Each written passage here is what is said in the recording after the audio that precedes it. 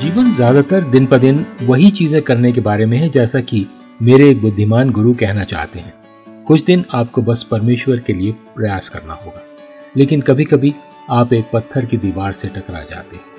नमस्कार, मैं हूँ क्रिस्टोफर सिंह और आज के ताज़ा कार्यक्रम में एक बार फिर आपका स्वागत है। तो जब ऐसा होता है तो आप क्या करते हैं? और ज़रूरी नहीं कि कोई बड़ा संकट हो, बल्कि बस कुछ व्यवहारिक समस्या जिसके बारे में आप कल्पना भी नहीं कर सकते कि इसमें परमेश्वर की रुचि होगी। यीशु के दिनों में भी ऐसा ही मामला था। बाइबल में लिखा है यमुना उसका दूसरा अध्याय, एक और दो वचन में, दो दिन के बाद गलील के काना नगर में एक विवाह था और यीशु की माता वहाँ थी।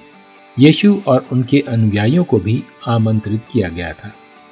विवाह में पर्याप्त दाखरस नहीं था, इसलिए यीशु की माँ ने उससे कहा, उनके पास और दाखरस नहीं रहा। कितना शर्मनाक। किसी शादी में खाना खत्म हो जाना।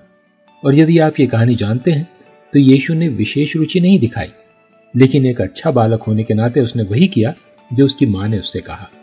और उसने पानी को दाखरस में बदल दिया। जी, ये थोड़ा सा पानी दाखरस में बदलने की बात नहीं है, बल्कि 150 गैलन दाखरस। इसे सीखने के लिए बहुत सारे सबक हैं, लेकिन व्यवहारिक स्तर पर आप उस विशेष चमत्कार से क्या सीखते हैं? यहाँ मेरा विचार है बाइबल में हर चमत्कार सबसे पहले एक समस्या के रूप में शुरू होता है और फिर ईश्वर एक दैवीय हस्तक्षेप के साथ कदम बढ़ाता है, जो अपनी शक्ति और महिमा को प्रदर्शित करने के लिए घटनाओं के प्राकृतिक रास्ते को बदल देता है।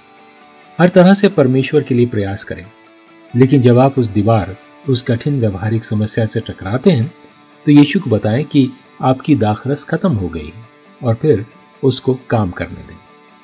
यह परमेश्वर का ताज़ा वचन है। आज आपके लिए।